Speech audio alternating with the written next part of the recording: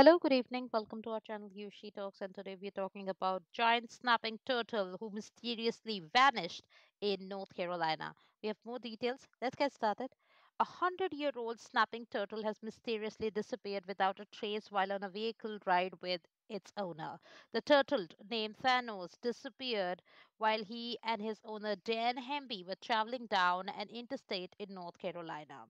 Hemby told no local news station that they had been on their way to the Durham Reptile Expo when he realized his beloved pet was not with him anymore.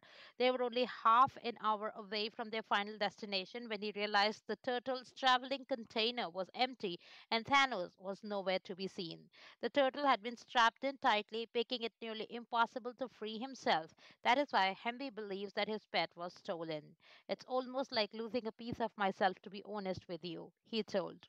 Although exactly where the turtle vanished is a mystery, Hemby suspects Thanos was stolen when they stopped at a rest stop near Benson.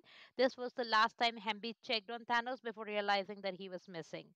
If you see him, please let us know. Please be careful, do not handle him, Hemby told. He couldn't go out as far as regular turtles on regular common snappers. If somebody stole him, please just get him home or just make sure he is safe. Alligator snapping turtles are native to freshwater lakes and rivers in southeast United States.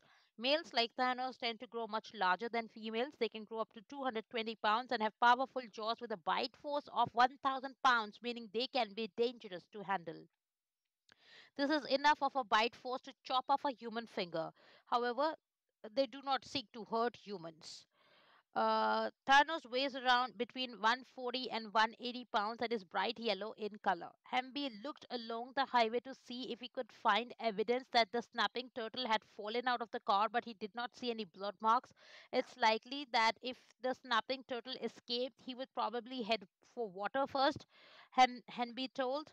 In the wild, alligator snapping turtles are threatened. An estimated 360,000 are still living across 12 states. However, without protection, the population could decline to just 5% in several decades. The U.S. Fish and Wildlife Service reported. So that's all we have in today's video. Thanks for watching us. You have a wonderful day ahead. Bye bye.